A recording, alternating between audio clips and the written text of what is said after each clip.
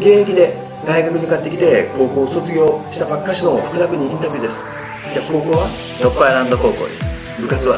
ハンドボール部です。じゃあ最初はどこの大学目指してた？最初は江南大学を目指してました。じゃあどこの大学に受かりましたか？関西学院大学です。漢学何校受かったん？5校受けて5校全部受かりました。それ全勝やんね。全勝。すごい。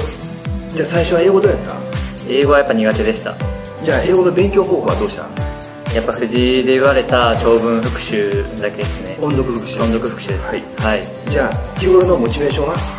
毎週のランキング発表の結果でモチベーション上げてました。じゃあ爆発的にやる気が出たのはなんで？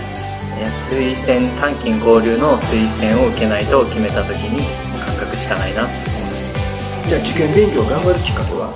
やっぱ藤井の入試の説明会入塾の説明会で学歴フィルターとか、やっぱ年収の違いとか聞いてやっぱかんそうですね頑張るはいはいましたはい。ありがとうございました。はい